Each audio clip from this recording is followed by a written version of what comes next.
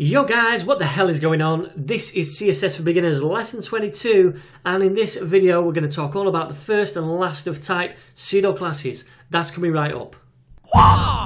Okay then, so here I am back in the HTML file and I've kept up the rules we used last time when we talked about first child and last child because I want to demonstrate how that now I've changed the HTML, they're not going to work. And I've changed the HTML in this way. In each article, I've added at the top H2, and that's going to be the article title. And then at the bottom of each article, I've added this HR tag, which remember is a horizontal rule, and that's going to add a line at the bottom of each article to kind of separate them.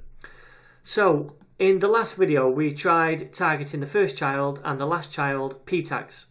Now this isn't going to work anymore now that I've added these extra tags, and this is why. The P we want to target is this, and it's no longer the first child. The first child is this H2, and this is now the second child. Likewise at the end, this is no longer the last child. The last child is this HR. Okay, this is the second to last child. So how do we get around this? Well, we can use what's called the first of type and last of type.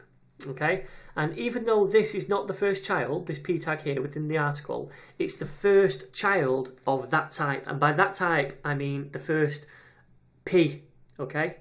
It's, uh, there's, you know, there's four P tags here, and this is the first of that type. The type is P, and that's the first of them. Does that make sense?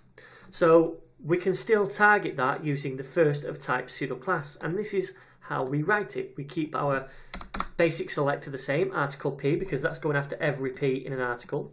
And then we hold it down by adding the pseudo class with a colon, and then the keyword of first of type, and they're separated by hyphens there and there.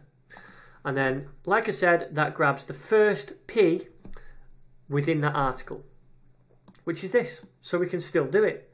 And likewise, the last of type, P, is here, because it's the last P within the article. That makes sense, yeah?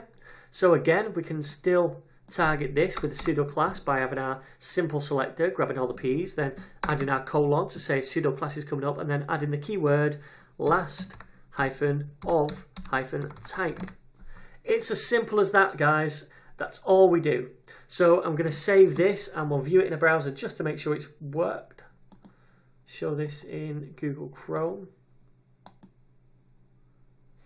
Okay, and absolutely no change from last time. We've got our article titles here. We've got our horizontal uh, horizontal rules here and here, splitting up the articles, but we're still managing to target this first P and this last P.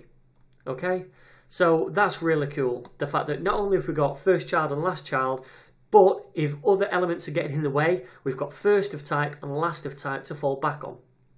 And if this doesn't work, then there is another way.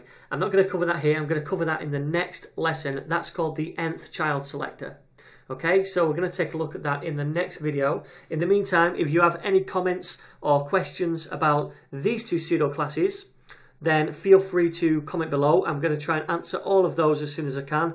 Otherwise, please like, share, subscribe, and I'll see you guys in the next video.